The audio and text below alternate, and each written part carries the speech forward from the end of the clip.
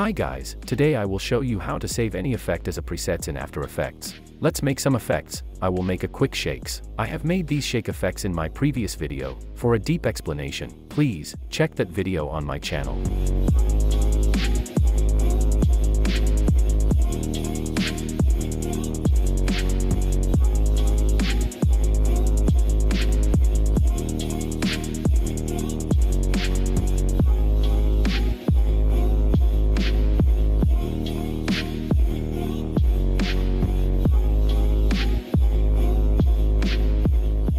Once you have made your effects, you can now save them by simple steps.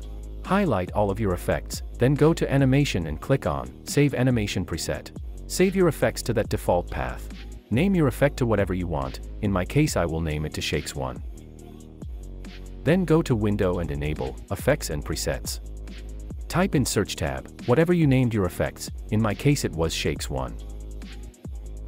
Or there is another way to find your created preset. Expand Animation Presets. Expand User Presets and there you will find all of your created effects.